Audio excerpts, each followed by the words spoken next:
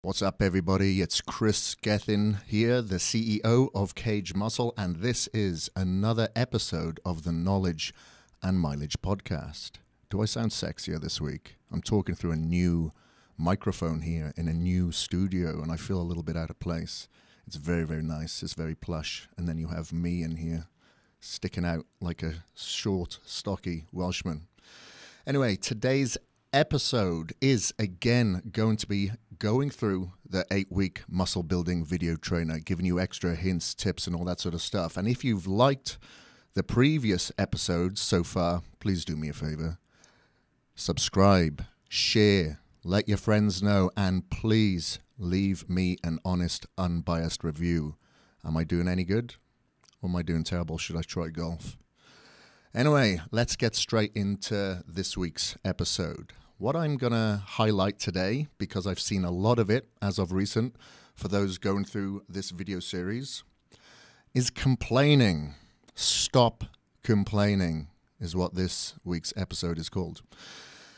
And I'm going to use my mother as an example here because she is away skiing at the moment in the highest mountains of France. And this time last year, she wiped out when we were on a family skiing holiday and she tore her meniscus, she tore her ACL, and she also fractured her patella. So, three major injuries there when she wiped out. Her knee almost, you know, swelled up pretty much straight away and uh, went back to the cabin.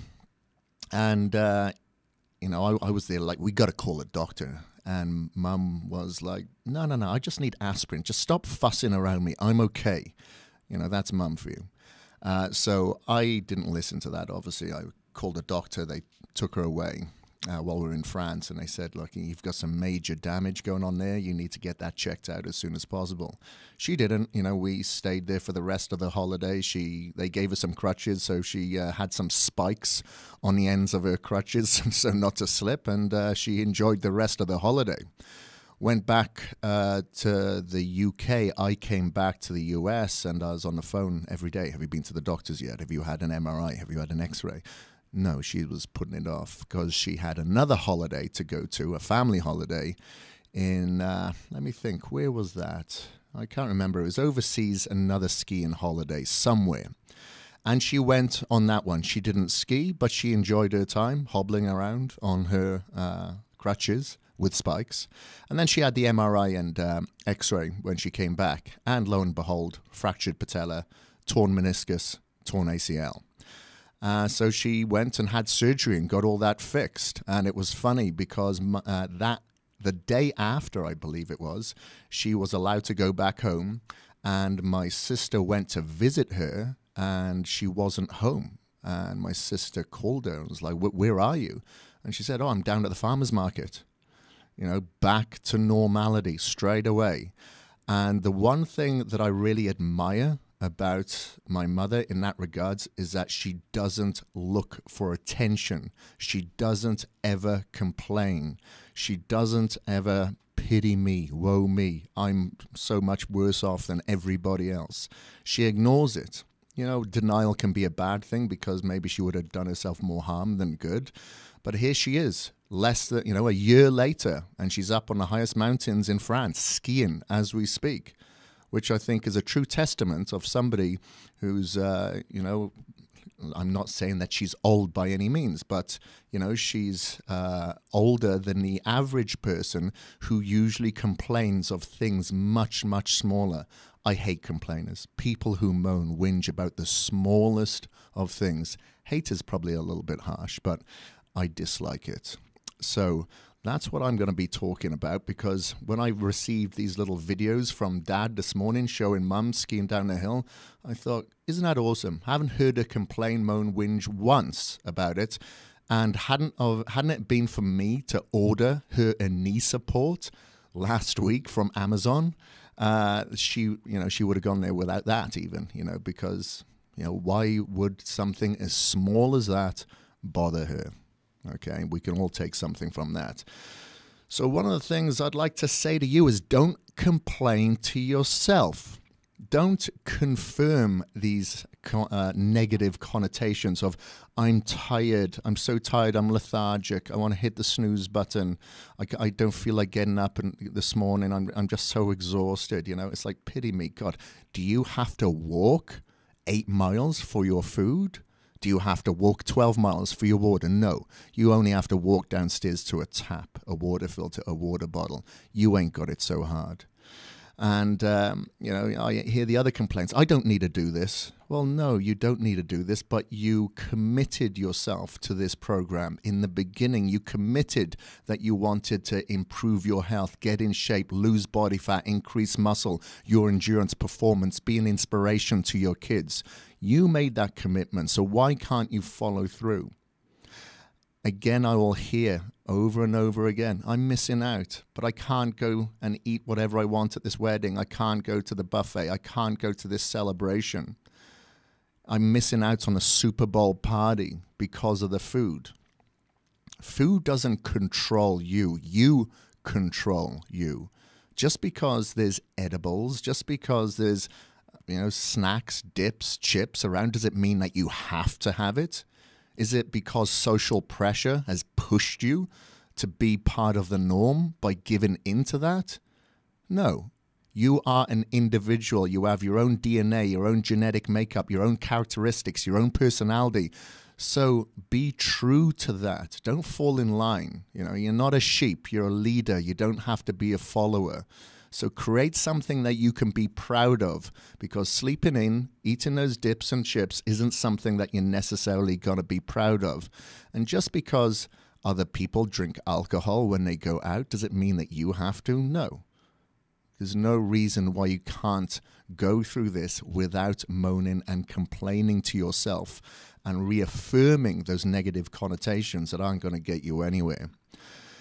And stop complaining to others. Do you think anybody, your wife, your husband, your kids, your co-workers, people at the gym want to hear you complaining, moaning on social networks?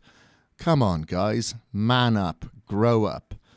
So complaining to others like, you know, you have no idea what I'm going through is a terrible way to start a conversation or even to end a conversation because everybody has their own issues, big, small, and a lot of it is generated within their own heads. It doesn't have to be what is part of a general social norm as being big or small. Everybody has their own issues. You have people who are multi billionaires who are much more depressed and suicidal than those that are homeless, that would invite you to their shack for, for a last meal with them.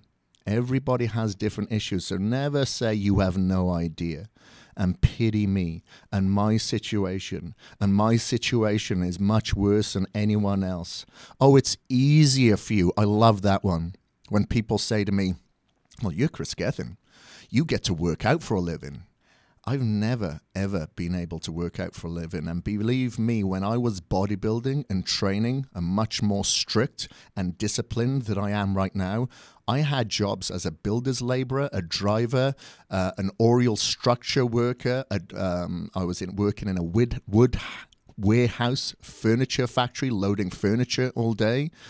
Um, I was also a sprayer, a lacquer sprayer, a barman. Uh, what else was I? I was a bit of everything. I was a panel beater for a while. I had so many jobs. I worked in an aluminium factory uh, for about eight months, working six in the evening till six in the morning one week, and six in the morning till six in the evening the following week. And amongst all of this, at some point, I went to college for three years.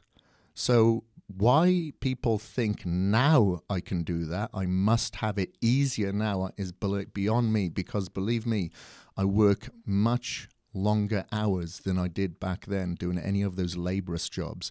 Laborious jobs for me are much easier.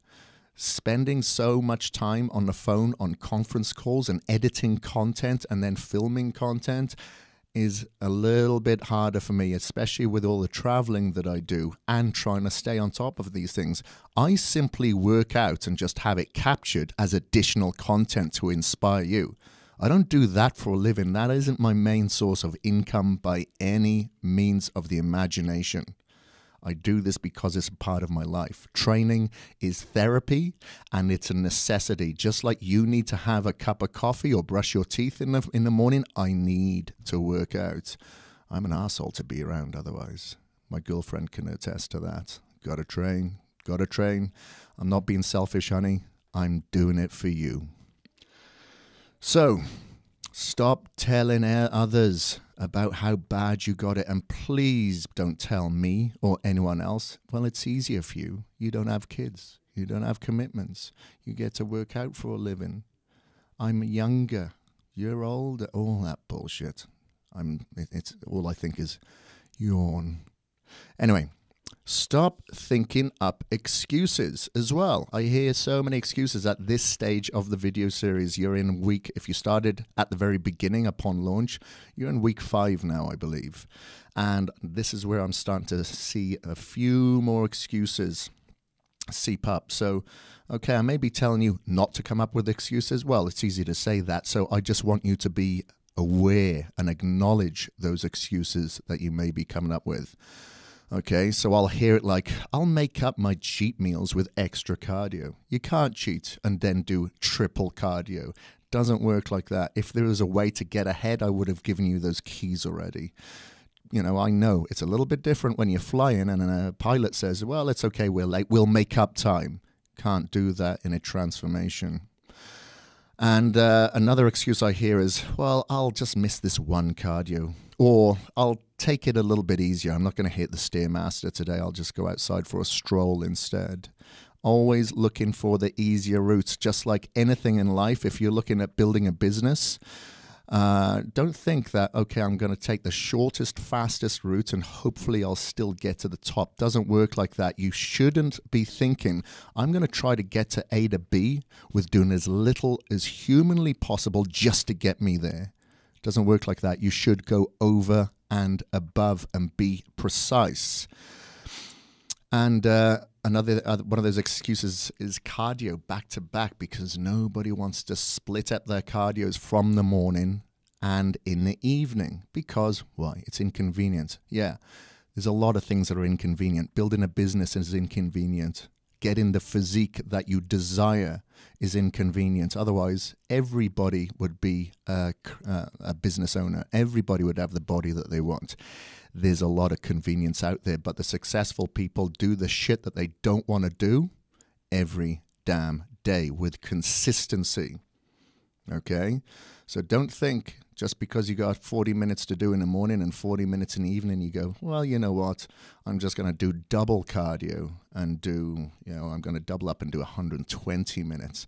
Doesn't work like that. You need to double spike that metab- metabolism, efficiently burn the calories throughout the day, and then you will do another cardio in the evening to efficiently burn calories during the evening. Okay, it's all about efficiency. It isn't about burning fat there and then for that particular amount of time that you're performing cardio. It's to spike your metabolism and efficiently go through the nutrition that you are taking into your body as an energy source to speed up the metabolism instead of a storage bucket.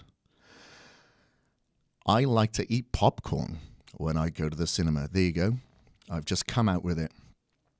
These are my sins popcorn. However, it's always healthy popcorn, if there's such a thing. I'll get that low calorie, 35 calorie popcorn sometimes when I go to the cinema. But you know what? When I start a diet, I get out of that routine. One of the things that I hate the most is people who say, but I've always done that. I've always done this. This is a habit. You know, I've always been a part of this. I've always had popcorn when I go to the cinema. Yeah, I've always had popcorn when I go to the cinema. But you know what? You don't live by your past of habits that have got you into a bad way or bad shape or something that's going to be a little bit more recreational instead of being goal orientated. You have to change those habits. You swip, you click the, you know, you hit the switch. So up until recently, late last year, I hadn't missed a meal for like 19 years. As weird as that may sound, I just, you know, I knew I didn't really have the genetics. I didn't have the fuller muscle bellies. I didn't have the little waist, the little joints. Just didn't have the look to be a real good bodybuilder. but I knew that I had to really outwork others, not just more hours, but I mean with efficiency, intensity, and discipline more than anyone else if I wanted to attain my goals. I just had to push it that much more. And one of those goals was never miss a meal, never miss a workout, never miss a cardio. So unless it was planned to miss a workout, etc., I would never miss that meal, supplement, workout, cardio, ever. However, up until um, several months ago, I went and had a colonoscopy and I had to fast for 24 hours. So I thought, you know what? Well, considering I'm fasting anyway, I might as well just give this intermittent fasting a go because I've never really been able to give a true opinion on it without trying it. I always say knowledge without mileage is bullshit.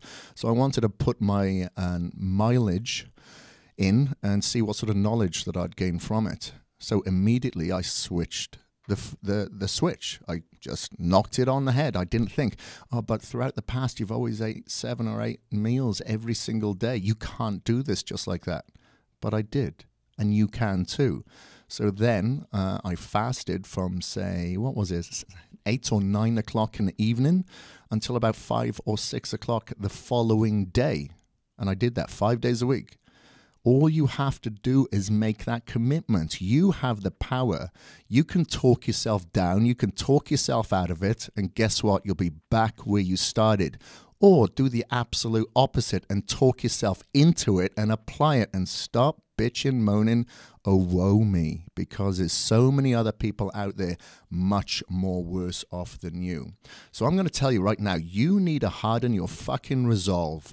Harden up. There's too many people that are getting softer by the day, by the week, by the year, and I'm starting to get sick of it. I don't want to be surrounded by it. You wonder why I'm a bit of a loner because I don't want to be influenced by it. So you need to change your perspective. Think about those poor people that live in third world countries who have got it hard, who don't have a cushion, they don't have a duvet, they don't know where their next meal's coming from.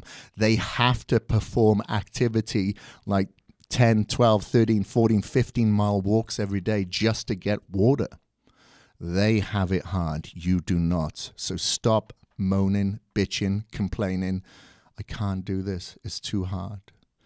Bullshit. You've just become a part of your environment, and the environment is getting softer. And I'm here to try to get you to harden up. A lot of these challenges that I do, whether it be like for you know these transformations, or whether it be that ultra marathon that I just did, or the Ironman events last year, I don't do that really for anything else other than to harden my resolve because I know the transcendence effect of doing things that I don't want to do is going to seep into other aspects. Much like the fasting, I wanted to give an opinion, I wanted to see what it's like, but I just wanted to see if I had the audacity and the commitment to follow through because I know that's going to give me the audacity and follow through to wake up every morning on time, to make sure that I get my workout done when I commit to it. If I make a vision board that I'm going to make that reality and create that into something something that is tangible. A lot of people don't. So do something out of your normal, comfortable environment to harden you the fuck up. So embrace the challenge. This challenge is something that you decided to do, not anybody else. You weren't influenced, you weren't pushed to it, no one put a gun to your head. You decided to do it. So commit. It is only eight weeks of your life.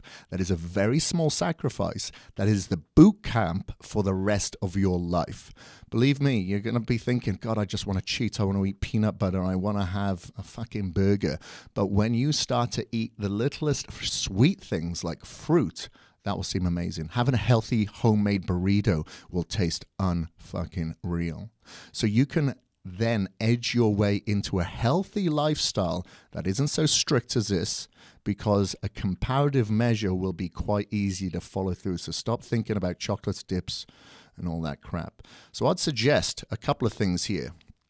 Read some Henry Rollins books. I love the Black Coffee Blues. He puts everything into perspective. Even at his age right now, in the late 50s, when he goes out on tour, he doesn't take a day off. He may be out on the road for six months straight because he's toughened up, he's hardened his resolve, and he doesn't give in to society's soft emotional implications.